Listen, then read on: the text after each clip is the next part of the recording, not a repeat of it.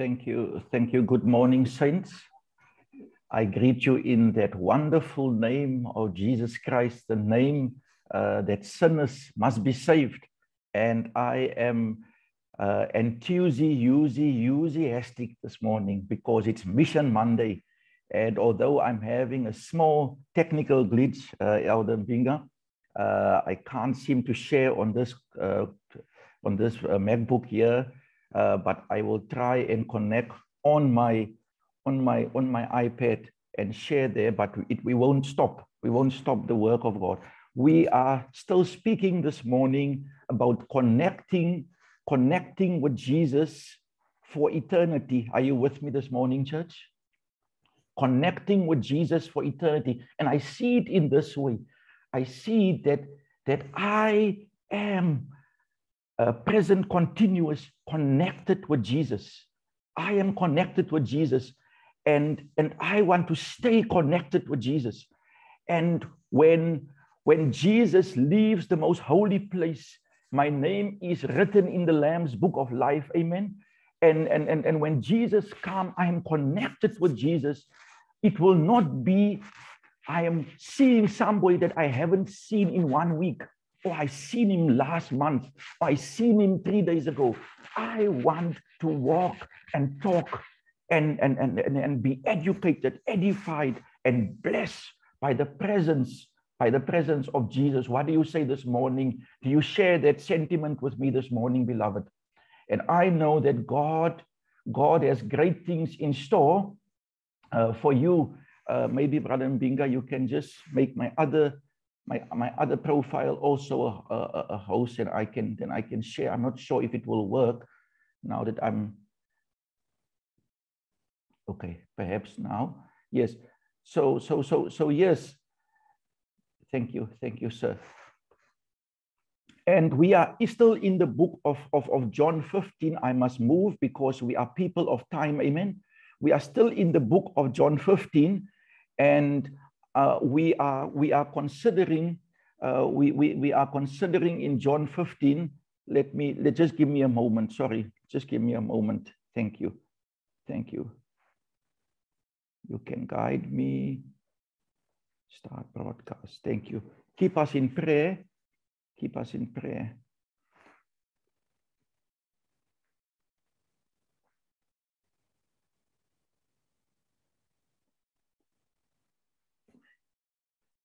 Is it visible, my elder? Um, something you. is happening. Something, yes. something is happening. Yes, it is. Thank you. Wonderful. And we are in John 15 this morning. Thank you. And we're reading verse 8, 5 and verse 8. And read with me there. Uh, it says, I am the vine, you are the branches. He who abides in me, connecting with Jesus, and I in him, he bears much fruit. I like the much fruit part. For apart from me, you can do what? Nothing.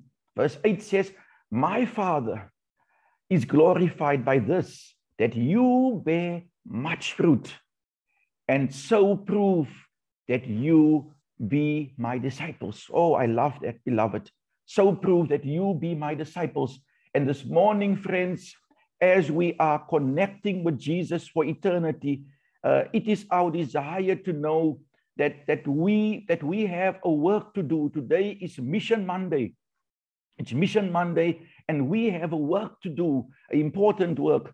A, a missionary was laying on his deathbed. Listen to the story, it's a true story. A missionary was laying on his deathbed and was asked by his son and successor to give him one word that he could remember him by because his, his speech was very impaired.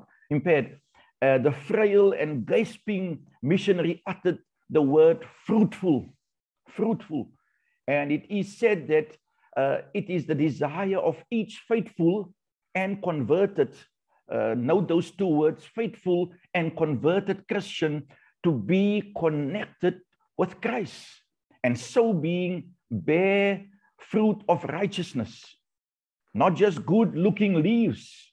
Remember the story of the fig tree? Not just good looking leaf, but fruit of righteousness that glorify God and impact and bless the lives of God's people. I like the psalmist uh, when the psalmist say in Psalms 1 verse 3, beloved, uh, we will go through the Bible this morning. I, I know that we didn't have a Bible study last night, so we will go through the Bible. Uh, Psalms 1 verse 3 says, He will be like what? Like a tree firmly planted by streams of water, which yields its fruit in its season, and its, and its leaf does not wither. And in whatever he does, he prospers. Praise the Lord. Praise the Lord. Whatever he does. This morning, our sub to connecting with Jesus for eternity is biblical fruit bearing. And I want to just paint a picture of biblical fruit bearing. And because we say biblical fruit bearing, it means there should be also unbiblical fruit bearing, beloved. So in Matthew 3, verse 8, we find that John the Baptist says, therefore, bear fruit in keeping with repentance. In other words, fruit bearing is connected to repentance, to our conversion experience. And then Jesus, speaking about false prophets, says, So then you will know them by what? By their, by their fruits. Romans chapter 1, verse 13, Paul calls winning converts uh, for Christ fruit bearing. And I'm not going to read all of it. Uh, and then Romans chapter 15, verse 28, Paul calls financial gifts. And amen, we are supporting God's work. What does the church say? That is an act of love that flows out from an experience with God, sacrificial giving. And, and, and Paul says, uh, therefore, when I have finished this and have put my seal on this fruit of theirs, I will go on the way of you to Spain. And we see that, of course, the fruit of the Spirit, Galatians 25, verse 22 and 23, and Colossians 1, verse 6. Listen to what Paul says in Colossians 1, verse 6, beloved of the Lord. Paul described the spiritual and numerical growth of the church as fruits, which has come to you just in all the world. Also, it is constantly bearing fruit and increasing. Hallelujah.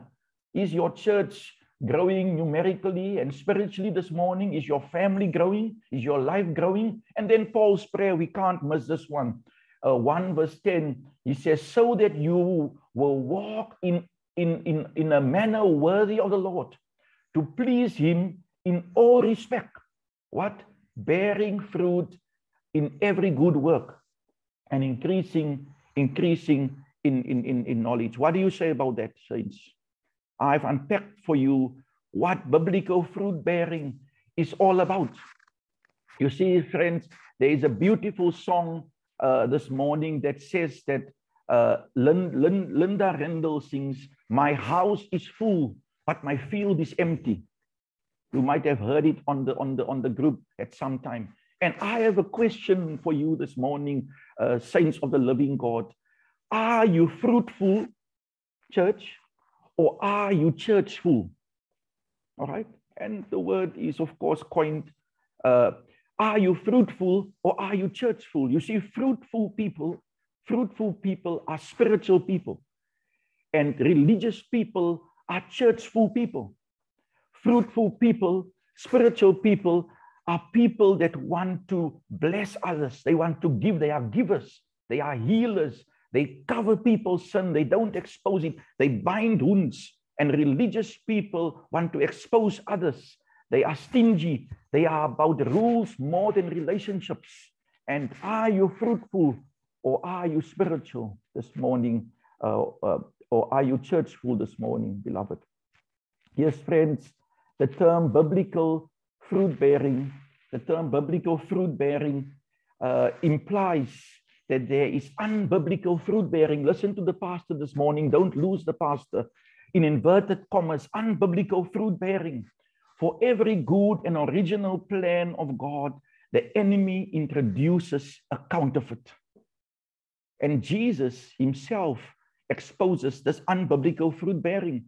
Turn in your Bibles there. Take out your Bible, go to your smart device, Matthew 21, verse 18 and 19. Let's go there. Jesus slept over and he came early in the morning. Listen to this. Now, in the morning, when he was returning to the city, he became hungry. Seeing a long fig tree, a lone fig tree, sorry, by the road, he came to it and found nothing on it except leaves only. Are you with me, church? And he said, and he said to it, No longer shall there ever be any fruit on you. And at once the fig tree withered. Jesus is exposing unbiblical fruit bearing. Today, beloved, is Mission Monday. And we cannot have Mission Monday unless we confront ourselves with the question are we missionaries or are we a mission field? What do you say, church? Am I a missionary or am I a mission field this morning? My house is full. I see here, uh, Elder Binga, 341 uh, beloved souls of the Lord is on here, and some as more than one person. But how many of us are in the mission field? How many of us are praying for mission, are intentional? Uh, there is a danger. Your pastor is, is, is counseling you this morning, and also for me, there is a danger amongst the remnant people of God, members, leaders, pastors, and those in higher organization that we can operate with green leaves. Let it sink in. There is a danger among us from the top right down that we can operate with green leaves, that we can thrive on reputation, on pedigree, that we can be known for fruit of yesteryear. And yet Jesus is hungry today and is looking for fresh fruit. Yes, I want to submit to you, friends, that Jesus is still hungry to see fruit of righteousness in the lives of his blood bought children that can glorify God and bless everyone in our influence sphere. I wish I had an amen up there. I wish I could see the church this morning. Somebody speak to me this morning, man. I feel alone here this morning. Yes, Jesus says that that he that he he wished to see fruit of righteousness in the lives of the blood-bought children that can glorify God and bless everyone in our influence in our influence sphere. So we we it's Mission Monday and and and, and we have been been privileged uh, well uh, for many years, uh, but specifically now, and I want to share with you fresh fruit. Uh, a few Sundays ago, I was I was walking on the beach at, uh, where I live close to, to, to Strand Beach, and, and, and it's, it's my custom in the morning to spend the hour, at least five or, or at least five of the seven days, God willingly, on the beach, walking, talking, preparing, doing whatever God wants me to do there. And I meet people, I pray, I go prepared with tracks. I am intentional, beloveds. I pray for the harvest. And I, I, I met a, a, a group of people there, one group of young people. They were baptizing a young lady, just ladies. And, and I managed to meet them. I prayed with them. I gave uh, an ebook. I sent them ebooks on, on their WhatsApp.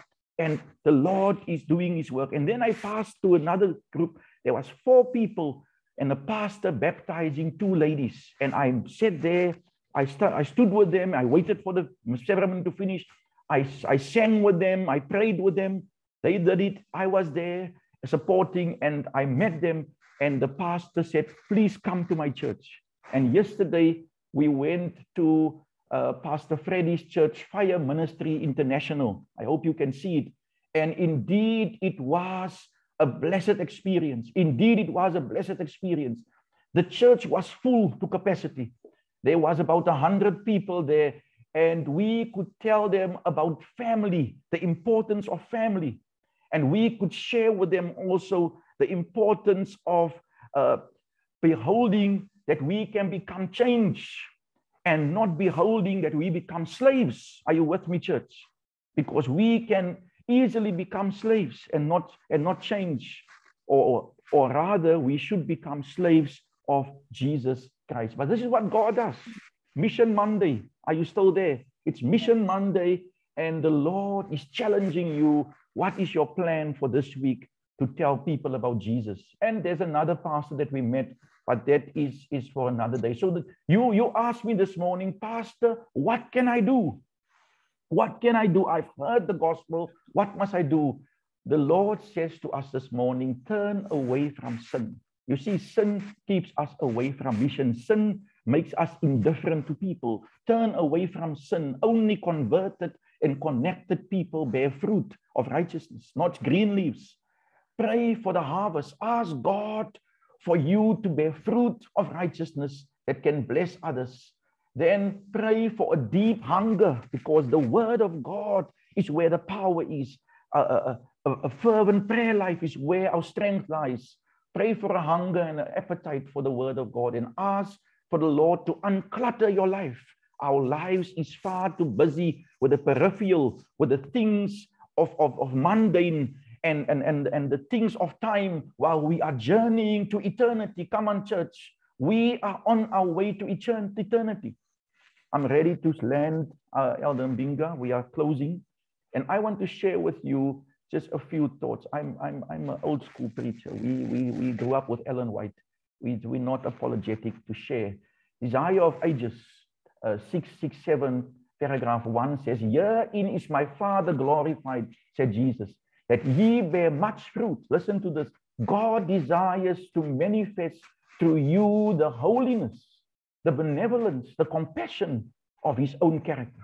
Yet the Savior does not bid his disciples to, lay, to labor to bear fruit. No, no, no. We need to be connected with Jesus. Fruit is a product of that connectedness. What do you say this morning, church? And then, of course, he expounds on us uh, uh, living in the word. And, and the last part says, the life of Christ in you produces the same fruit as in him. Living in Christ, adhering to Christ, supported by Christ, drawing nourishment from Christ. You bear fruit after the similitude of Jesus. I want to tell you this morning that there is still there is still time. There, there is still there is still time for us, beloved of the Lord. There is still time for us to make right.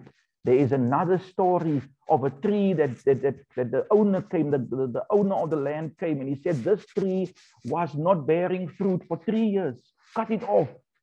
And then there was a gardener, and this gardener is Jesus, and he comes and he says, Please owner, give it one more year.